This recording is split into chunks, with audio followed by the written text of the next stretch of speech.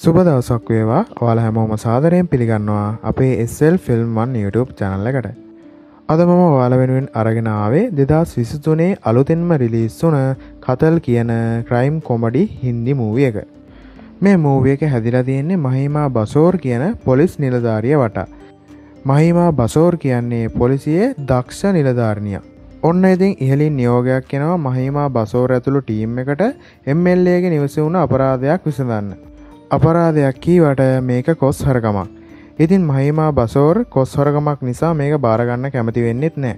ඒත් ඉතින් මහිමට කරන්න දෙයක් නෑ. මේ කොස් හොරකම වෙලා තියෙන් එම්ල්ලගේ නිවස නිසා මහිමට මේ කේස එක බාරගන්න වෙනවා. අපි මූවකට ගිහිම බලමු. මහිම මේ කොස් හොරකම විසඳද්දී එයාට එන ප්‍රශ්න වගේම මේ කොස් හොරකම ඇතුළේ තව අපරාධ සැඟවිලා තියෙනවාද කියලා. ඉතින් මංවාලට ආරාධනා කරනවා මේ මූුවක මාත්‍යක විවරණකම් බලන්න එන්න කියලා ඒ වගේ අපේ එස්සල් ෆිල්ම්වන් YouTube චැනල්ල එක තාමත්වා සබස්ක්‍රයිබ් කල නැත්නම් අප සබස්ක්‍රයිබ් කල එකතු වෙන්න කියලත් ආදරෙන් මතක් කරනවා. එහෙනම් අපි යමු මූුව එක බලන්න. මූුවක පටන්ගන්නේ විරූ කියන අපරාධ කාරයව මහිමා බසෝර ඇතුළු පොලිස් කණ්ඩායම විසින් අත්තටම් ගොඩ ගන්න සීන් එකකින්. මේකට නායකත්වය දෙන්නේ මහිමා බසෝර් කියන පොලිස් උප පරීක්ෂකවරිය. ඉතින් මහිමගේ දක්ෂකම නිසා පොලිසියට පුළුවන් එෙනවා විරූ කියන අපරාධකාරයව අත්තරංගොට ගන්න. විශාල මෙහෙමත් දියත් කල්ලා මහිම අපරාධකාරයව අල්ලගත්තත් මේක ගෞරුවේ ලබා ගන්නේ ඉහළ පොලිස් නිධාරින් තමයි. මාධ්‍යවේදී අනුත් නැගෙටලා පොලිස් ලොක්කගෙන් අහනවා අපරාධකාරය අල්ලන්න සම්බන්ධ වනාය කවුද කියලා. පොලිස් අධිකාරතුමාගේ ප්‍රධානත්වයෙන් මෝවා පොලිසිය තමයි අපරාධකාරයව ඇල්ලුවේ කියලා පොලිස් ලොක්කෙක් කියනවා. මහිම හිතුවත් එයාගේ නම කියයි කියලා පොලිසිය ලොක්ක හෙම කරන්නේ නෑ. මහිමගේ ආදරවන්තයා එයාට වඩා පහල නිලයක වැඩ කරන පොලිස් කොස්තාබල් සූරා. සූරාප්ට දුකයි පොලිස් ලොක්ක එයාගේ පොලිස් ස්පෙක්ට මහිම ගැන මාධ්‍යසාකච්ඡාවදි කීව නැතියකට. මහිමනම් වැඩිය හිතන්නේ නෑ පොලිස් ලොක්කෝ කරන වැඩ ගැන.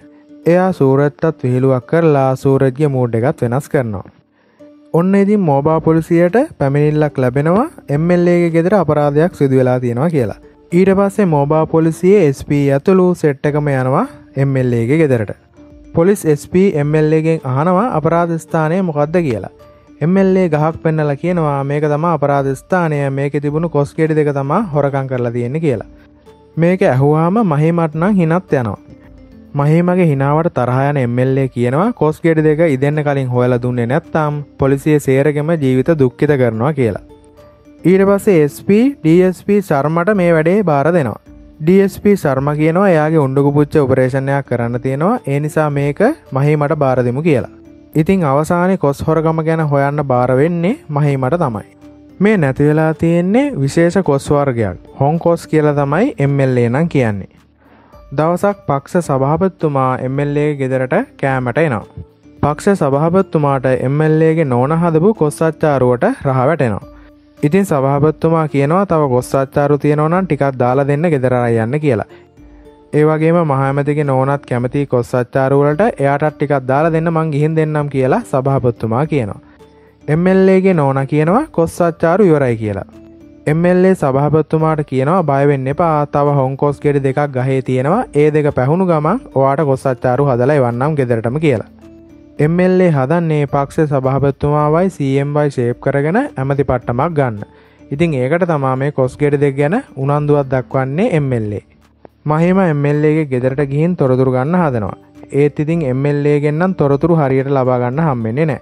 එම්ල්ලේ මහිමට බනිනවත් එක්ක එයාගේ කාපට් එක පාගනවා කියලා. මහිමට ලැබිල තියෙන එකම තොරතුර රෑවෙදදි තිබුණු කොස් ගෙඩි දෙක උදේ වෙද්දි නෑ කියන එක විතරයි. මාධ්‍යවේදී අනුත් තාප්පුඩ නැගගෙන මේ සිද්ධිය ගැන මාධ්‍ය වාර්තා කරන්න හදනවා. ඒත් ඉතින් මහිමනම් මේකට ඉට දෙන්නේ නෑ. මහිම එම්ල්ලේගේ බංගලාය වැඩ කරන්න හැමෝගෙම වගේ ප්‍රශ්න කරනවා. ඒත් මහිමට කිසිම සාක්ෂියක් ලැබෙන්නේ නෑ. මහිම යාගේ ටීම් එකේ මිස්ටාට කියනවා මෙතන බුලත්විට තලතල ඉන්න නැතුව ගිහින් සාක්ෂි හොයන්න කියලා බංගලාවට ඇවිදලා. මිස්ට්‍ර කල්පනා කර කර ඉන්නේ එයාගේ අලුත්ම කාරක නැතිවුණ එකට. මහිම මැඩම්ට මිස්්‍ර කියනවා මගේ අලුත් කාරක හොයල දෙන්නකො මැඩම් මෙතැන කොස් නැතිවුණ ඒවා හොය හොයා ඉන්න නැතුව කියලා. මහිම එයාගේ පොලිස් සායකාව කුන්ටිගෙන් අහනවා උයන් පල්ලගෙන් ප්‍රශ්න කරාද කියලා. එතකොට කුන්ඩි කියනවා ඔයන් පල්ල හම්බුණේ නෑ කියලා.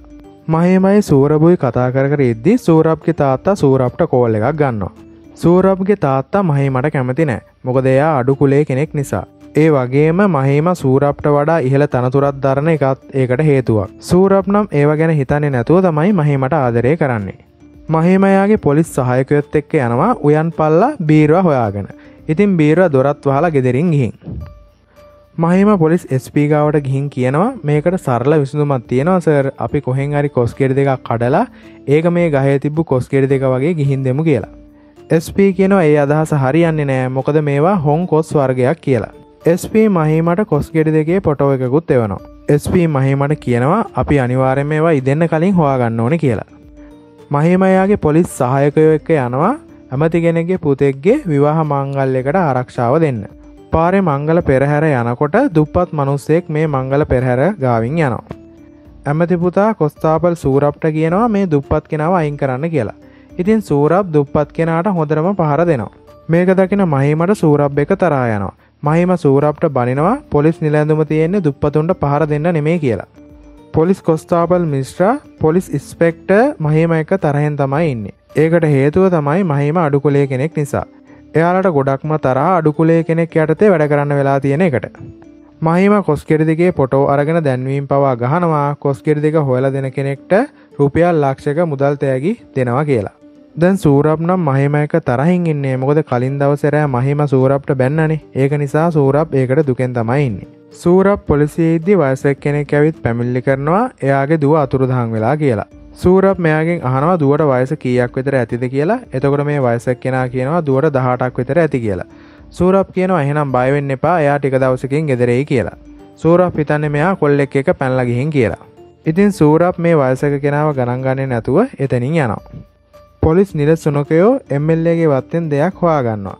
මෙහෙම හොයාගන්නේ උයන් පල්ලගේ ෆෝන් එක. මාධ්‍යවේදී අනුජ් එම්ල්ල එකත් මාධ්‍යසාකච්ඡාවක් පවත්වනවා. මෙතනද එම්ල්ලේ කියනවා එයාගේ කොස්ගෙරි දෙක හොයල දුන්නේ නැත්තම් පොලිසිය ගිනිබත් කරනවා කියලා. SP මහිමට කියනවා ඉක්මනින් මේ කේස්සක ඉවර කරන්න මම ඔයාට උසස්වීමක් කරන් දෙන්නම් කියලා. මහිම කියනවා මටනම් උසස්වීමක් එපා පුළුවන්නන් සූරප්ට උසස්වීමක් කරන් දෙන්න කියලා. පොලිස් SP හන ඔයා කොස්ථාපල්වරයෙක්ට කතා කරන්න මොකද කියලා. ඊට පස්සේ මහේම පොලිස් ස්පීට කියනවා සූරප්ගේ තාත්තා අපි දෙන්නගේ සම්බන්ධයට කැමති නෑ හේතුව මම පොලිස් ඉන්ස්පෙක්ට එයා කොස්ථාපල් නිසා කියලා. ඉතින් පොලිස් SP මහිමට කියනවා කොස්කෙඩි දෙක ඉදන්න කලින් හොයාගන්න අනිවාරෙන්ම සූරප්ට උසස්වීමක් අරන් දෙන්නම් කියලා. මහිමයාගේ පොලිස් සහයකය එක්ක ගිහින් වෙළදපොලේ දකින දකින කොස්කෙඩි අරං ඇවිත් එම්ල්ලට දෙනවා. එම්ල්ලේ කියනවා ඒවා එයාගේ කොස් නෙමේ කියලා. ඔන්න දවසක් රෑවෙලා පොලිසියට සූරා පැමිල්ල බාරගන්නේ නැතුව පිටත් කරපු වයසක මනුස්සය එනවා. මේ වයසක් කෙන පොලිසිය මිස්ටට පගාව දීලා එයාගේ පැමිණිල්ල ඉදිරිපත් කරන්න තමයි හදන්නේ. මෙතනට මේ වෙලා පොලිස් ඉන්ස්පෙක්ට මහිම එනවා. මහිම කියනවා එයාගේ පැමිණිල්ල බාරගන්න කියලා. පැමිණිල්ල ලියාගන්න කුන්ති මේ වයසක් කෙනගෙන් නමගම විස්තර හනවා. එතකොට මේ වයසක් කෙනා කියනවා මම උයම් පල්ලෙක් මං වැඩකරේ පටේරයා බංගලාව කියලා. එතකොටම කුන්ති මේ වයසක් කෙනගෙන් හන ඔයාගෙනම බීරවාද කියලා එතකොට වයසක් කෙනා කියනවා ඔවු කියලා. ඒ ගමම මහිමඇවිත් අනකරනවා බිරුවව කූඩුවට දාන්න කියලා. මහිම බිරුවගෙන් අහනවා එම්ල්ලගේ ගෙදරින් හොරකං කරපු කොස්කිරි දෙක කොයි කියලා. බිරුව කියනම් මම කොස් හොරකම් කරේ නෑ කියලා. එතකොට මහිම අහනවා ඇහි එනම් දවස් දෙකට කලින් එම්ල්ලගේ ගෙදරින් පැල්ලගිය කියලා. එතකොට බිරුව කියනවා එම්ල්ලේ තම මාව ජොබ් එකෙන් අයින් කරේ කියලා. බිරුව වත්තේ වැඩ කර කර ඉද්දි එම්ල්ලගේ මුණුබරා සෙල්ලංකාරකකින් ඇවිත් බිරුවගේ පැළපාගලා. ඉතිං ඒ නිසා බිරුවා එම්ල්ලගේ මුණුබුරාව බය කරලා. මුණුබුරාව බයකරපු එකට තරහගින් එම්ල්ලේ තමයි උයන් පල්ලව එලවලා තියෙන්. එම්ල්ලේ ගහන්න හදන නිසා බිර්වා එයාගේ ෆෝන් එකත් දාලා එම්ල්ලේ ගෙදරින් දුවලා. බිර්වා කියනවා මං මෙතෙන්ට ආවේ මගේ දුව නැති වෙලා දවස් දෙකක් වෙනවා ඒකට පැමිණිල්ලක් දාන්න කියලා. ඉතින් මහි මහනව දවස් දෙකක් යනකං ඔයා මොකද කරේ ඊට කලින් පැමිණිල්ලක් දාන්න තිබෙ නැද්ද කියලා. බිරුව කියනවා මම දවස් දෙකට කලින් පැමිණිල්ලක් දාන්න ආවා ඒත් මේ කොස්ථාපල් ඒකට ඉඩ දුන්නේ නෑ කියලා. මහිම කවුදේ කොස්ථාපල් කියලා බිරුවගෙන් අහද්දී බිරුව පෙන්න්නන්නේ සූරබ්බ. ඉතින් මහිමට මේකට සූරබ් එක තරහ යනවා. සූරප්ටත් මේක ගැන හරිම දුකයි වගේ තමා මූනෙන් පේන්නේ. මහිම පොලිස් ස්පීට කෝල් කරලා කියනවා උයන් පල්ලගේ වැරද්දක් නෑ වගේ උයන් පල්ලගේ දුව නැති වෙලා තියෙනවා දැන් දවස් දෙක ඉඳලා අපි ඒක ගැන හොයන්න වෙයි නේද කියලා. ඉතින් පොලිස් SP කියනවා මොන කේසෙක් ගැන හොයන්නත් කලින් කොස්කෙඩි දෙක් ගැන හොයලා ඉන්න කියලා. උයන් පල්ලව මාධ්‍යේදිරියට ඉදිරිපත් කරන්න කියලත් පොලිස් SP මහිමට කියනවා. මහිම ස්පගෙන් අහනවා මාධ්‍යවේදීන් කොස් ගැන ඇහවාම මං මොකක්ද කියන්න කියලා. SP මහිමට කියනවා හැමදේම මගෙන් අහන්න එපා ඔයා කල්පනා කරලා බල්ල වැඩ කරන්න කියලා. මහිම බිරවා එයාගේ ඔපිස්ස එකට ගෙන්නලා තනිවම් මොනවද කතා කරනවා. ඔන්න ඊළඟ දවසේ මහිම බිර්වව මාධ්‍ය සාකච්ඡාවට ඉදිරිපත් කරනවා. මෙතනදි බිරුව කියනවා එයාගේ දුව තමයි කොස් හොරකං කරේ කියලා. පොලිස් ඉන්ස්පෙක්ට මහිම ඊට පස්සේ මාධ්‍ය අමතල කියනවා කොස් ගෙඩි දෙක හොරකං කරපු අපරාධකාරිය හොයලා දැඩි පරීක්ෂණ කරනවා කියලා. පොලිස් ලොක්කො මහිමගෙන් අහනවා ඇයිවා වරද උයන් පල්ලගේ ඇගේ ගහලා මේ කේස එක වැැහුවේ නැත්ත කියලා. ස්ව මහිමට කියනවා මේ වෙලා වැදගත් වෙන්නේ කොස්ගෙඩි දෙක හොයන එක මිසක් කෙල්ලෙක්ව හොයන එක නෙමේ කියලා. මහිමනන් කියන්නේ කෙල්ලව හොයන එක තමා වඩා වැදගත් කියලා. මහිම ඇස්පීට කියනවා අපි කෙල්ලව හොයාගත්තොත් කොස්කෙඩි දෙක නිකම්ම හම්බෙනවනි කියලා. ඔන්න මහිමට මේ ගෑල්ලමය හොයන්න පොලිස් ලොක්කන්ගෙන් අවසර ලැබෙනවා. මහිමගිහින් එයාගේ පොලිස් සහකයන්ට කියනවා අමේය කියලා ගෑල්ලමෙක් අපි හොයාගන්න ඕනේ ඒ නිසා නගරේ ඔක්කොම හොටෙල් පරීක්ෂාවට ලක් කරන්න කියලා. කොස්තාපල් මිස්්ට නිතරම මහිමට වද දෙනවා එයාගේ නැතිවුණ කාරක හොයලා දෙන්න කියලා. සූරප් මහිමත් එක කතා කරන්න උත්සාහ කරත් මහිමනම් සූරප් එක කතා කරන්න කැමති නෑ. මොකද සූරප් පිටපිට මහිම අකමැති දේවල් ගොඩක් කරලා තියෙන නිසා. මහිම කුන්තිගෙන් ගෑල්ලමයි අතුරුදහංවීම් සම්බන්ධ නඩු ෆයිල්ලයක් කිල්ලගන්නවා මේ නඩු ෆයිල් එකේ එක ගෑල්ලමෙක්වත් තාම හම්බෙලා නෑ. ඉතින් මහිම කියනවා මම අමීයට මේ ෆයිල්ලගේ තව එක පිටුවක් වෙන්න දෙන්නේ නෑ කියලා. මහිමයාගේ පොලිස් සහයක එක්ක යනවා පරීක්ෂණ පවත්වන්න. ඉතින් මේකට සූරප්පනං එකයි යන්නේ නෑ. සූරප් ටිකක් කල්පනා කර කර ඉඳලා පොලිසිය සයිබ සිකුරිටිය අන්සට යනවා. සූරප් ගිහින් මේකේ ලොක්කගෙන් කරේරගමේ මොබයිල් ටව දත්ත ඉල්ලනවා. සූරප් කියන නිකම නිකන් කොස්ථාපල් කෙනෙක් නිසා මේක ලොක්ක සූරප්ට දත්ත දෙන්න කැමති වෙන්නේ නෑ. සූරප්ට මේකින් විස්තරගන්න ශ්‍රීවස්ති කියලා මහත්තයෙක් උදව් කරනවා. ඉතින් ශ්‍රීවස්තිගේ උදව් ඇතුව සූරප්ට පුළුවන් වෙනවා දත්ත ටික ලබාගන්න. මහිම යනවා අමියගේ ගමට අමිය ගැන තොරතුරු හොයන්න. ඒත් ඉතින් ගමේ කවරුවත්ම මහිමට තොරතුරු දෙන්නේ නෑ. ඉතින් මෙතනට මාධ්‍යවේදී අනුත් දෙනවා.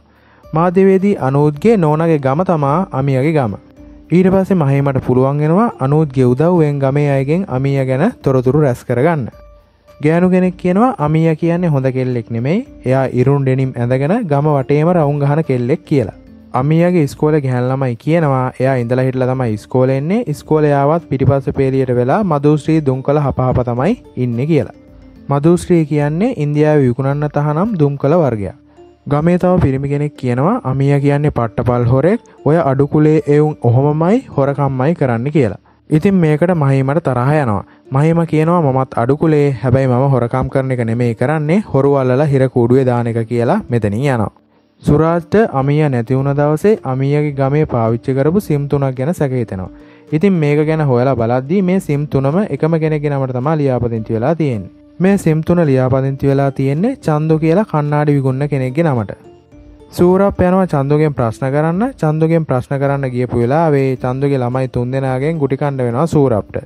මේ අතරේ මහිම යනවා අමියගේ ගමේ බුලත් විකුන්න කෙනෙක් ගාවට. මහිම බුලත් විකුන්න කොල්ලයි කණ්ට දෙකක් දීලා දැනගන්නවා අමීයා මදුශ්‍රී ගන්න මෙතනින්ද කියන එක. එතකොට මේ බුලත් විකුන්න කොල්ලා කියනවා ඔවු අමීය මදුශ්‍රී මගෙන් තමයි ගන්නේ. දැන් ටික දවසකට කලින් අමීය මගේ මදුශ්‍රී ගන්න ආව සල්ලි නැතුව ඉතින් සල්ලි නැති නිසා මම යාට මදුශ්‍රී දුන්නේ නෑ කියලා මේ කොල්ලා කියනවා. අමියට මදුශ්‍රී ගන්න සල්ලි නැති නිසා කන්නාඩි විකුණන්න ආපු කොල්ල තුන් දෙනෙක් අමියට මදුශ්‍රී අරන් දුන්න කියලා මේ කොල්ලා කියනවා. අමීයත් ඒ කන්නාඩි විකුන්න කොල්ල තුන් දෙනාගේ කාර්යක ළඟ හිටියා දැක්කා හැබැයි මම ටික වෙලාවකින් බලද්දි අමීයයි ඒ කොල්ල තුන් දෙනා හිටිය නෑ කියලා මේ කොල්ලා මහිමට කියනවා. මේ අතර මාධ්‍යවේදී අනුද්ගිහින් අමියගේ තාතගෙන් ප්‍රශ්න කරනවා පොලිසිය මහිම මැඩම්ද කීවේ ඔයාගේ දුව කොස් හොරකම් කරා කියලා පිළිගන්න කියලා අහන. මහිම බලනවා එයාලා එක හිටපු මාධ්‍යවේදී අනුත් කොයි කියලා. එතකොට ගමේ අය කියනවා අනුජ් අමියගේ ගෙවල් පැත්තර යනවා දැක්ක කියලා. මහිමට තේරෙනවා අනුත් ගිහින් තියෙන්නේ අමියගේ තාත්තගේ මොනොහරි ප්‍රශ්න කරන්න තමයි කියලා. මහිම යනකොටත් පරක්කු වැඩි අමියගේ තාත්තා අනුත්ත සේරම විස්තර කියලා. මහිම අමියගේ තාත්තර කියනවා ඔයාගේ දුව හොයාගන්න ඔයා කැමති නැද්ද ඇයි ඇත්ත කීවේ කියලා. මහිම අනුජ හම්මෙන්න්න ගිහින් කියනවා මේ තොරතුරු එලියට දෙන්න පා කියලා. ඉතින් ඒක කරන එක වෙනුවෙන් අනුත්ත මහිම ගෑල් ළමයි අතුරුදහංවීමේ නඩු ෆයිල් එක දෙනවා. ඊට පස්සේ මහිම යන්නේ ගුටිකාපු සූරප්ප බලන්න. සූරප්ට චන්දුලාල්ගේ ළමයි පහර දෙද්දිත් ඉවසලා තියෙන්නේ සූරප් එයාටම පොරොන්දුවක් වෙලා තියෙනවා මහිම වෙනුවෙන් ආය කාටවත් පහර දෙන්නේ නෑ කියලා. ඊට පස්සේ මහිම සූරප්ට කියනවා ඔයා එහෙම කරන්න ඕනේ නෑ ඔයා නරක පොලිස්කාරයෙක් නෙමෙයි කියලා. ඔන්න ඊට පස්සේ මහිම යනවා චන්දුලාල්ව හම්බෙන්න. මහිමට චන්දුලාල්ගෙන් දැනගන්න පුළුවන් වෙනවා එයාලගේ ගබඩාවේ බූර කියලා කෙනෙක් වැඩ කරා බූරගාව තමා චන්දුලාල්ගේ හැඳුනුම් පද තිබිලා තියෙන්නේ. බූර දවස් ගානකට කලින් චන්දුලාල්ගෙන් කන්නාඩි වගේකුත් හොරකං කරගෙන පැනලගයා කියලා චන්දුලාල් මහිමට කියනවා. ඊට පස්සේ මහිම CCTV චෙක් කරන්න පටන් ගන්නවා. CCTV චෙක් කරද්දි දැනගන්න පුළුවන් වෙනවා බූරා කියන කෙනා පැනලා ගිහින් තියෙන්නේ රතු පාට කාර් එකකින් කියලා. මේ කාර් එක ගැන විස්තර හොයනකොට දැනගන්න පුළුවන් වෙනවා මිස්ට්‍රා කියන කොස්තාපල්වරයාගේ නැතිවුණු වාහනය තමයි මෙයාලා ගිහින් තියෙන්නේ කියලා. එතකොට මිස්ට්‍රගේ වාහනේ හොරකං කරලා තියෙන්නේෙත් බූරලා. මිස්ටර් නම් පට්ටම හැපි එයාගේ වාහනේ හොයාගන්න පුළුවන් වුණේකට. මේ අතරේ මාධ්‍යවේදී අනුත් ගැහන් ළමයින්ගේ අතුරුදහන්වීම් සම්බන්ධ නඩු ෆයිල් එක මාධ්‍යර ඉදිරිපත් කරනවා. අනුද්ගේ මේ නිවස් එක නම් ගොඩක් වෛරල් වෙනවා.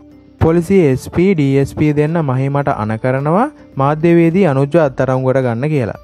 ඉතින් මහිමට අකමැත්තෙන් වුණත් මාධ්‍යවේදී අනුජ්‍ය අත්තරංගොට ගන්න සිද්ධ වෙනවා ජාතියේ ප්‍රතිරූපය කඩාකප්පල් කිරීමට කුමන්ට්‍රණය කිරීම සම්බන්ධයෙන් කියලා. අනෝච්චනම් එයාව අත්තරංගොට ගන්න එකත් සතුටක් මොකද ඒකෙනුත් එයාට වෛරල් එකක් වෙන්න පුළුවන් කියලා තමයි යා හිතන්නේ. ඔන්න ඒ සිද්ධියෙන් පස්සේ මහිමයාගේ ටීම් එකත් එක්ක චතරපූරුවලට යනවා අමීය පැහැරගත්තු කණ්ඩායම හොයාගෙන. මහිමට පුළුවන්ගෙනවා අමියාව පැහැරගත්තු කොල්ලන්ගේ දුරගතන සංඥා ඔස්සේ එයාලා හිටපු තැනකට යන්න. ඉතින් මෙතනදී මදුශ්‍රී පැකට් දෙකතුනක් හොයාගන්න පුළුවන්ගෙනවා මහිමට. ඊට පස්ස අපිට පෙන්න්නනවා අමියාව පැහරගත්තු කොල්ල තුන් දෙනා ගුලාප් කියල කෙනෙක් ගාවට අමියාව එක්කයි යනවා විකුණන්න. අමිය විකුණන්න හදද්දි මහිම ඇතුළු ටීම් එකත් ගුලාබ්ගේ පොට්ටකට එනවා. ඉතින් මේ ප්ලේස් එකේදී මහිම ඇතුළු ටීම් එකයි ගුලාබ්ගේ සෙට් එකයි අතර සටනක් ඇතියෙනවා. ගුලාබ්ගේ සෙට් එක එලවලුවලුනුයි පළතුරුවරණුයි මහිමලට පහර දෙනවා. මිට්‍රට නම් හරිම සතුරුයි එයාගේ කාරක ආපව් හම්බුණෙක් ගැන එයාගේ ටීම් එක උඩ සටන් කරද්දි එයා කාරක බදාගෙනම ඉන්නම්. ගුලාබොයි මහිමයි සටන් කරන අතරේ ගුලාබ් මහිමට පහර දෙන්න ගිහින් උඩ ඉඳලා බිමට වැටෙනවා. ගුලාබ් මෙහෙම උඩ ඉඳලා වැටෙන්නේ මිට්‍රගේ කාරක උඩට. ඔන්න ඉතින් අමියව හොයාගත්තට පස්සේ අමියව උසාවියට ඉදිරිපත් කරනවා. එම්ල්ලේගේ ලෝය කියනවා අමිය තමයි කොස්කෙඩි දෙක හොරකං කරේ කියලා. එම්ල්ලේගේ ලෝය කියනවා අමියගේ තාත්තම තමයි පිළිගත්තේ එයාගේ දුව කොස් හොරකම් කරා කියලා කියනවා. මහිම අමියගේ තාත්තර පොඩි සංඥාවත් දෙනවා. ඊට පස්සේ අමියගේ තාත්තා කියනවා මගෙදුව කොස් හොරකං කරේ නෑ මම කලින් මගෙදුව කොස් හොරකං කරා කියලා කීවේ ඉන්ස්පෙක්ට මහිමගේ කීමට කියලා උසාවියට කියනවා. නඩුකාරතුමිය මහිමගෙන් අහනවා මේක ඇත්තද කියලා. මහිම කියනවා අමියගේ තාත්තා කියන්නේ ඇත්ත මට වෙන කරන්න දෙයක් තිබෙනෑ පොලිසිය කොස්කෙඩි දෙකක් හොයන්න කාර්ය බහුල වෙලා තමයි තිබ්බේ ඒ නිසා අමියව හොයන්න වෙලාවක් තිබෙ නැති නිසා තමයි මෙහෙම උපක්‍රමයක් යොදන්න වනේ කියලා මහිම උසාවිය ඉදිරියේ කියනවා. මට ඒ වෙලාවෙ කොස්වලට වඩා මේ ගෑල්ලමගේ ජීවිතය බේරගන්න එක තමයි වැදගත්වනේ කියල තමයි උසාවියට මහිම කියන්නේ. ඊට පස්සේ නඩුකාරතුමි අහනවා රුපියල් තුන්සේ හැටක් වටින කොස්කෙඩි දෙකක් වෙනුවෙන් මුළු පොලිසියම බලය දෙව්වද කියලා. අවසානය අමියට විරුද්ධව කිසිම සාක්ෂයන් නැති නිසා අමියව නිදොස් කොට නිදහස් කරනවා. ඒ වගේම නඩුකාරතුමිය පොලිස් මහිමට ප්‍රශංසා කරනවා පවතින ක්‍රමයට විරුද්ධව ගිහින් මේ ගෑල්ලමයගේ ජීවිතය බේරගත්තුවකට. ඔන්න ඉතින් මාධ්‍යවේදී අනූත්තත් ඇපගන්න මාධ්‍යවේදීන් විහෙසල වැඩ කරනවා කියලා අනූජ් මහිමව හම්බෙලා කියනවා. මේ කේස් එකෙන් පස්සේ සූරප්ට උසස්වීමක් හම්බෙනවා මහිමගේ පෝස්ට් එකටම. ඒත් එක්කම ඉතින් මහිමටත් උසස්වීමක් හම්බෙනවා DSP විදියට. මහිමනම් මේ පෝස්ට් එක ගන්න කැමති නෑ මොකද ආයෙත් සූරප් එය යටතේ වැඩ කරන්න ඕන නිසා. සූරප් මහිමට කියනවා ඔයා එහෙම හිතල දුක්වෙන්න එපා පොලිසිය ඕනම කෙනෙක් වැඩ කරන්න එකම පෑගාන ඒ නිසා තනතුර අදාළ වෙන්නේ නෑ කියලා. සූරප් එහෙම කියලා මහිමව ආදරෙන් වැළඳ ගන්නවා. ඊට පස්සේ අපිට පෙන්නනවා අමී අයාගේ සුපුරුදු ජීවිතය සතුරින් ගත කරන විදිිය.